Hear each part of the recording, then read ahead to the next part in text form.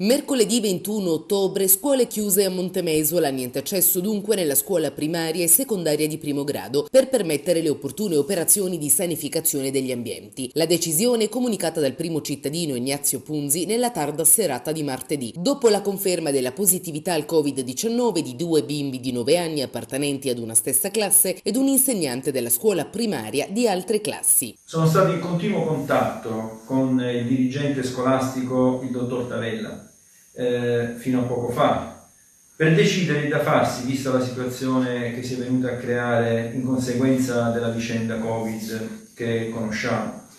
In un primo momento la scuola aveva comunicato l'inibizione dell'ingresso ai soli bambini di tre classi della scuola primaria eh, Edmondo De Amicis. Valutando meglio tutte le circostanze, in accordo con l'istituzione scolastica e in via del tutto precauzionale abbiamo deciso di chiudere per la sola giornata di domani, mercoledì 21 ottobre, entrambi gli edifici scolastici, quindi sia la scuola eh, primaria elementare che la scuola media.